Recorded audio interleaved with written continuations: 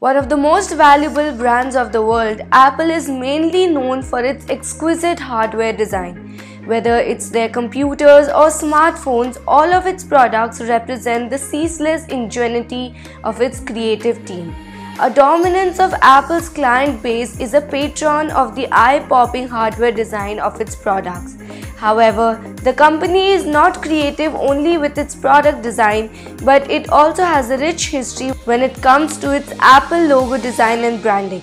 From its first brand identity to the last logo, Apple's logo design has gone through a significant transition.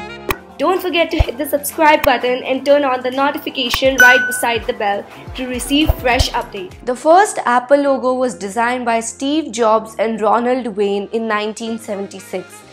It depicts the famous story of the discovery of gravity when Isaac Newton was sitting under a tree and an apple fell on him.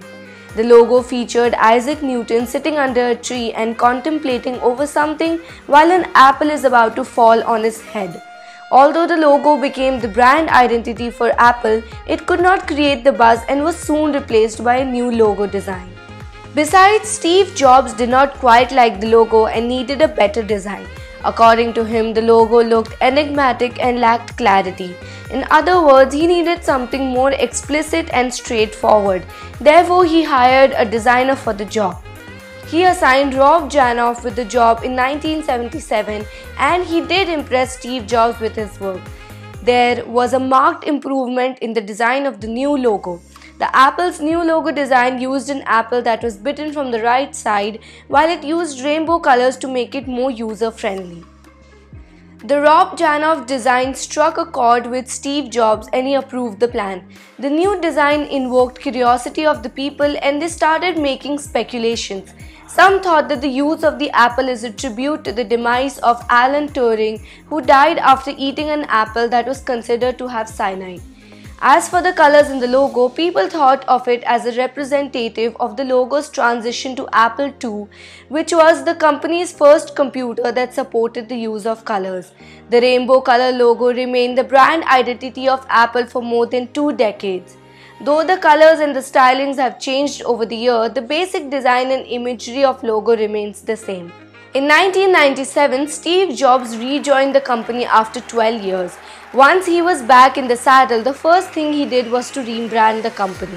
The new logo was revamped mainly because of the change in hardware design as the new Apple computers used metallic casing. So a rainbow colored logo would have looked absurd in those cases.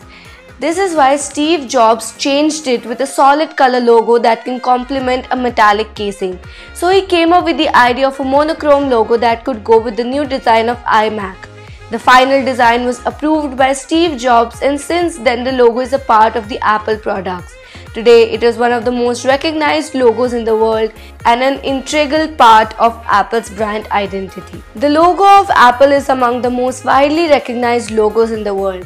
Just like McDonald's, Nike, and FedEx, it is regarded as one of the most famous logos that people can quickly recognize.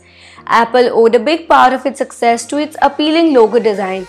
It was the beauty of Apple logo design that graced its breakthrough products and contributed to their phenomenal success. Today, the Apple insignia is a symbol of innovation, reliability, and trust.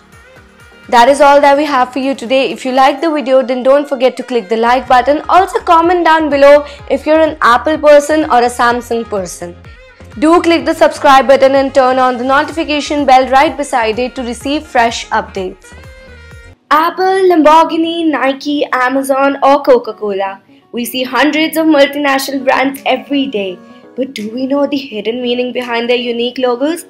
Well, don't worry, because we got your back here at Revealing Logos.